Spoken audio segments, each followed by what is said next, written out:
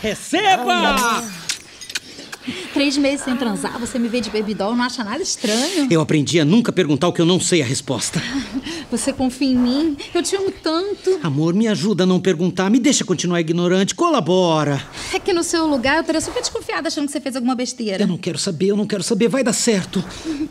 Eu tô grávida. Ufa, eu achei que você tinha perdido o nosso dinheiro comprando criptomoeda. Que absurdo! Você não confia na minha habilidade com as finanças? Não, nada disso. É que a gente vai ter outro filho. Ê! Como assim? Você vive reclamando que já tem três empregos e que se eu engravidar, você ia se matar. Mas ia ser muito pior se você tivesse perdido as nossas economias comprando criptomoeda. Não tem criança nenhuma, né?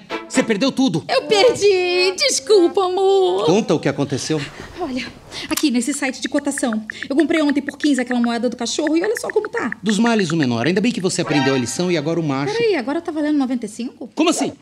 Caraca, ontem eu olhei e tava quase zero. Alguém deve ter tweetado alguma coisa e o preço subiu. 95? É quase sete vezes a mais do que eu paguei. Eu tô rica!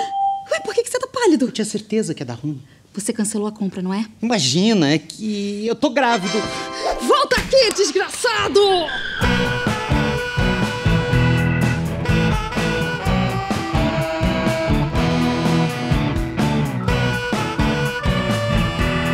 Eu ainda lembro de quando eu era jovem e sonhava com a minha primeira namorada. Então o tempo passou e veio o primeiro beijo, não exatamente com a minha primeira namorada. Haviam homens, garotos, que conseguiram muito mais do que isso porque eles eram visionários. Hoje, a minha esposa domina a casa. Ela ganhou tudo que a gente possui em cripto. Hoje eu sou empregado da minha esposa. Se você deseja grandiosidade, ter o primeiro beijo com alguém que você ama, invista em cripto. Eu sou o Homem de Ferro.